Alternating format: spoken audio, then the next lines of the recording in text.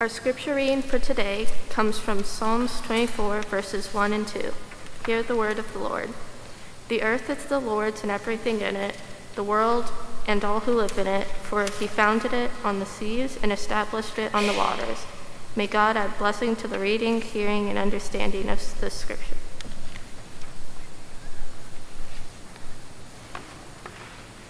Take the stairs. I didn't call you by name, you called you by name. On July 18th, 2022, I fell back in love with the ocean. Now, for some of you, that might not seem like that big of a deal, but for me, it really is. You see, when I was a kid, I loved the ocean so much. Along with almost every other kid on the planet, I had a very long phase where I wanted to become a marine biologist. But as with most things I get fascinated with, I overstudied the topic to the point where I grew a massive fear of it. For example, did you know that 80% of the ocean remains unexplored? There's a spot in the Pacific Ocean called White Shark Cafe where great whites congregate in mass off the coast of California. It's the size of Colorado, and no one knows why. Did you know that hydrothermal vents can reach up to 700 degrees Fahrenheit? Did you know that just being in the ocean can literally crush you to death? These are all the things that haunted me in my brain. Every time I went to the beach, my mind told me that every fish that hit my leg was a shark, and every ray that I stepped on was the one that killed Steve Irwin, and it wanted me next. But all that changed on July 18th, 2022. Nine of the youth from our church and three other adults went on an ocean conservation trip through Blue Theology to Monterey, California. Now, this wasn't a mission trip in the classical sense, in the, that we showed up and we painted walls and we worked in a food pantry. Not that those aren't good things to do. The best way I can put it is that we were the ones that received the, the evangelism from God, God's self. We were the ones that were ministered to, and the ocean was the evangelist sent to minister to us. I spent every day doing various things, we spent every day doing various things that brought us closer to both each other and to the planet that we live on, which you will hear about here in a few seconds from the youth themselves. I, however, spent every morning before the kids woke up walking down to the beach that was only half a block away and would watch the waves as the sun rose. I would sit there, look out, and listen. Did you know that only 20% of God's creation has been explored in the oceans? Did you know that the ocean holds about 94% of wildlife? Did you know that two of every three breaths we take come from the ocean? Did you know that if we don't care for the ocean and make conscious decisions about conservation of animals and native plant species, that the earth will continue to die before our very eyes? The earth is the Lord's and everything in it, for he established it on the waters. Then we were put in charge of caring for it. And we aren't doing that great of a job. We are constantly destroying ecosystems with non native plants and deforestation. We are constantly hunting animals to near extinction, if not complete extinction. We need to do better. We need to be better. Now, before we hear from the youth, I want you to listen to the hymn that was our centering song for the week during our evening worship. To hymn called Ocean is a Call to Worship, written by Dan Damon. He wrote it while he was driving around Monterey Bay. We will listen to the song, then we will hear how the youth experienced the trip.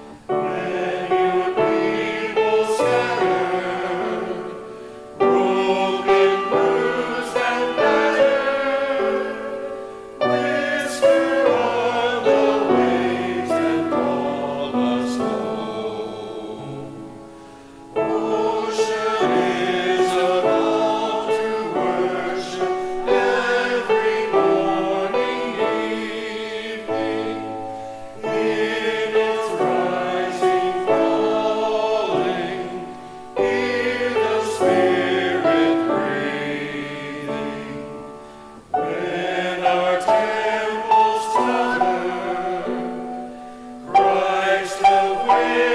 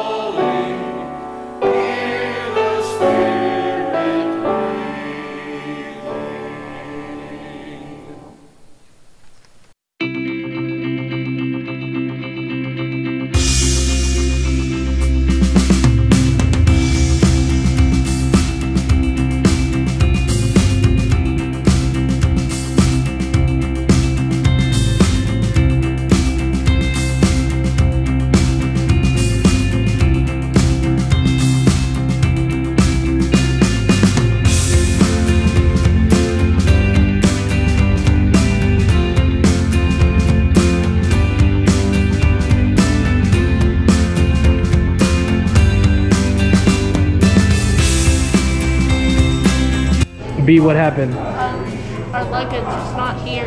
They took it off, and yeah, she has a picture, real life footage. We have proof. My luggage. Picture here. inserted here. My luggage made the plane. But six of ours did not. I thought it was seven. I think the biggest thir- thing I learned this week was to be more hopeful because when we think about climate change or species dying out, it seems like there's not a lot we can do.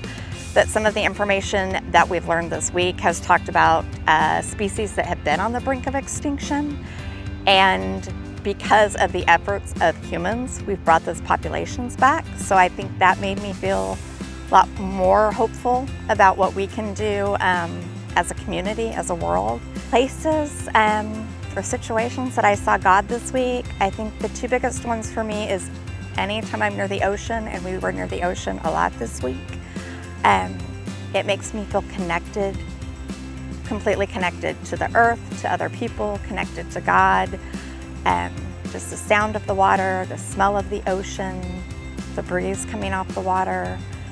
And the second thing, which I found truly amazing on this trip, was seeing how the kids connected with each other. Um, even the kids that didn't know each other very well this week really bonded. Uh, we're having very real conversations and getting to know the other adults too. I feel like I know the kids and the adults in youth group a lot better than I did before this week.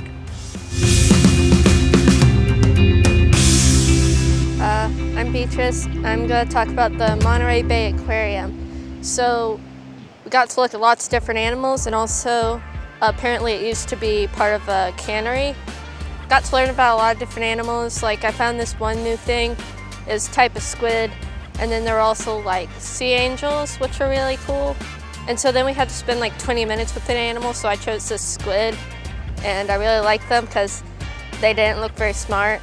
And then I saw God and you know all of the life, and because you know God made all the life.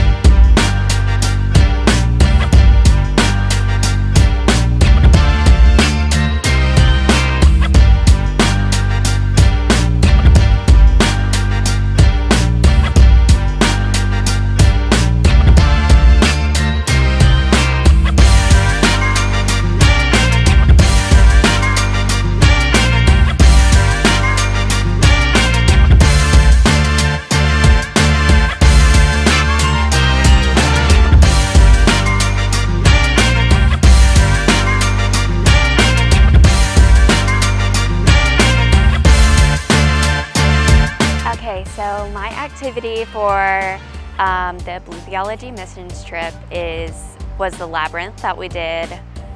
Um, and a labyrinth is kind of like a um, maze type thing on the ground, and it sounds kind of silly, but you walk around and try to get to the middle of the labyrinth, and you stay very quiet and meditative, and then you walk out. And I thought it was a very uh, interesting meditative experience because you got to, uh, you know, sit with your thoughts for a while and um, just think and feel the ground beneath your feet and feel the wind. Um, and I think this relates to God because um, when you're walking through the labyrinth, because it does take, you know, a pretty good amount of time, you get to think about God and you know how how the labyrinth and the sitting with your thoughts is making you feel and so I just think that was a really amazing experience that we all got to do. What are you talking about? whale watching. What did you do for whale watching? We were on a boat and we got to see like all the whales out in the sea. And what did you learn about the whales? That they were endangered and they came back from like somewhere else and now they live here and they like stay underwater. Some of them can stay under for like 45 minutes. Where did you see God in the whale watching? Probably whenever like they were all in groups and hanging out together.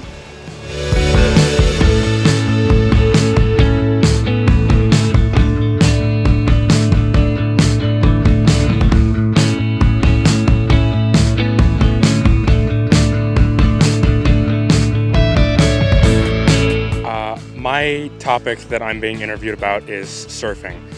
We, we got to learn how to surf, we were learning how to paddle, they taught us how to jump up without managing to fall off our boards.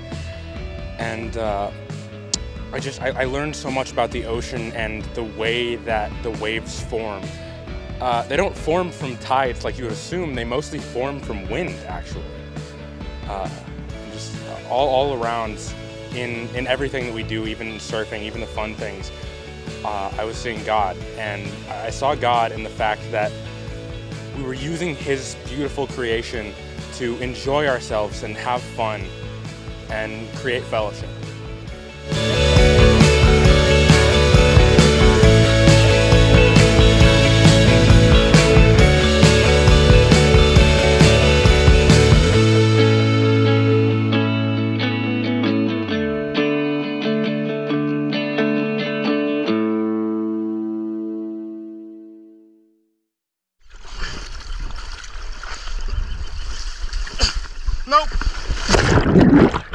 This week, I got to learn about a lot of things about the ocean, some connections that we had throughout the week with just everybody being together. Uh, I think we got closer as a group, and the time that I really felt the connection with God was walking through these these beaches and uh, really learning about just being free and no matter where you are, you could always have a connection with God at any moment where where you're at. So, so at the greenhouse, we uh went to like the parking lot, and then we did like a little tour of like little it's like apartment like sand dunes and stuff like that, and we learned how it used to be like with some the YWCA, something like that. And uh, there are like these little plants that like kind of like took over, and we learned about how they like transformed that and stuff. So that was really cool. And then we went over to the greenhouse. We kind of like uh, made some soil, fresh soil, and then we like looked at the different plants and like the process to like grow them and like put them out like the sand dunes that was really cool. I learned that you can really like harm an environment if you like don't like um, take care of it. And I also learned that it's really easy to like like if like um, a plant's dirt had a um, infection or like something like that that could be transmitted to another one. It's really important to like not have that happen. So you have to like really deeply clean it. And so I thought that was pretty interesting, and I, I didn't really know that. And then I saw God, and when we were getting some like uh, potting buckets, and like we were cleaning them, because whenever everybody else went into like uh, the little greenhouse and like watered the plants and like re like potted them, I was outside still clearing them because I got really attached to it. And I just saw God like saying, this is what you like. You should keep doing it. This is good for you. And I just thought it was really nice. It was really fun. Okay, I'm talking about kayaking and um, we were just kayaking down the rivers with otters. And what I learned is about how all the uh, endangered animals came back and then how it connected me to God was uh, it showed me that God created all of the all the animals and we got to protect what God created.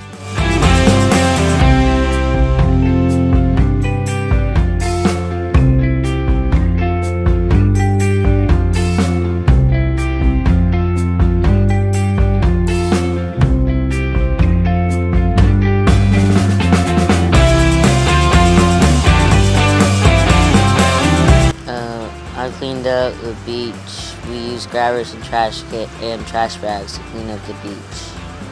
I picked up the most secret bugs, uh, so the bacteria doesn't get in the sea for the animals. It was caring about the animals in the sea.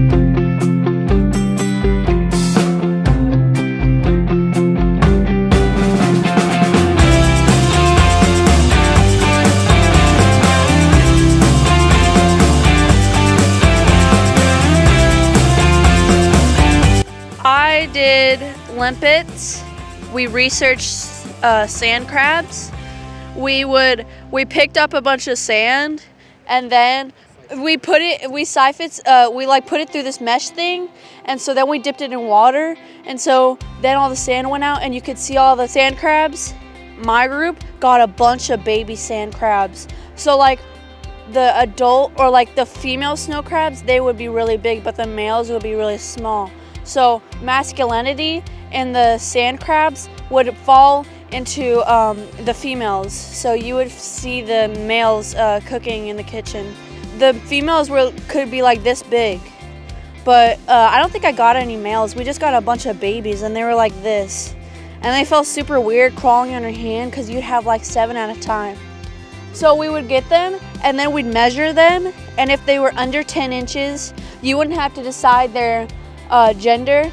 But the females, we would get them, we'd measure them, and then we would flip them on back and there's like this little little um, theseus that you flip up and then it they a key factor is they would have eggs and they were orange and they looked like really small caviar. It was cool. Kind of nasty though. What i learned was they like to burrow themselves. I have them in my hand and they'd burrow themselves in between my fingers I saw God after I was in, okay, so a little bit during the water, it was really at peace. I was just like standing there and walking around and it was really nice. But then I got stung by a jellyfish. Like that dude came out of nowhere. And so then I walked up to Julio and some of the other church and was like, I got stung by a jellyfish. And then everyone went into action and they just knew what they were talking about. While we were here, we learned a lot about the community that was being built and we all came together to help. I normally wouldn't have talked to a lot of the people that I did talk to while I was here. I'm more of like a closed type of person, but when I was here I felt very open and I felt like we were all here for the same thing so it was easier to be all together and open up. It was very nice to see people to get around and do the same things. And it felt, felt kind of comforting to know that we all, even though we're not from the same place, we all share the same type of love and happiness. And it's nice to see that we weren't just sticking with the people that we knew and we were sticking with what we love and inviting other people with us along our journey. It brought me closer to God because it no, like it made me realize that when more than one like person shares the same type of love for a certain thing or whatever, it can bring a lot of people together if they share the same type of love and it gives off such a nice energy and it makes things better because you can connect with people on a deeper level. On this mission trip, I learned a lot. Um, I learned a lot about Monterey Bay and the fact that it is a sanctuary so that there won't be overfishing and they can protect the species that are here. Um, I learned that I don't get seasick, which was interesting. I also learned stuff about migrant workers in California as we drove through some of the fields where they were working. Um, interesting facts about why you should be buying organic. It's less about you not getting the chemicals in your body and more about protecting the workers who are picking the fruits and vegetables that grow here in Central California. Um, we learned a ton, and I think we're going to come back with a new respect for the ocean. Um, there was a ton of amazing God sightings this week, but probably the biggest is the way that our youth bonded with one another. We kind of had two little clusters, some younger middle schoolers and some older high schoolers, and it was really good feeling to see them genuinely enjoying one another because they're not visitors, they're all members of our church. So they will take these memories back and build on them each year as we go on future mission trips. So thank you to everybody at FCC that helped make this possible.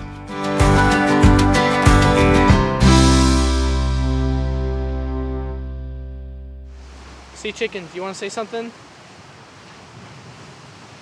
Y'all, the Sea Chicken won't do an interview. I tried six times to get the Sea Chickens to do an interview and they wouldn't squawk for me. I was a little upset. Let us pray.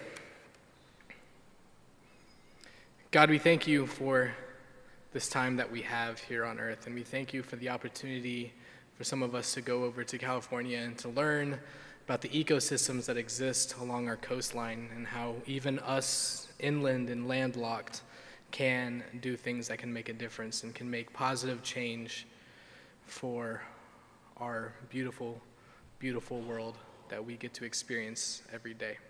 In your name we pray. Amen. Let us go together to the Lord's table.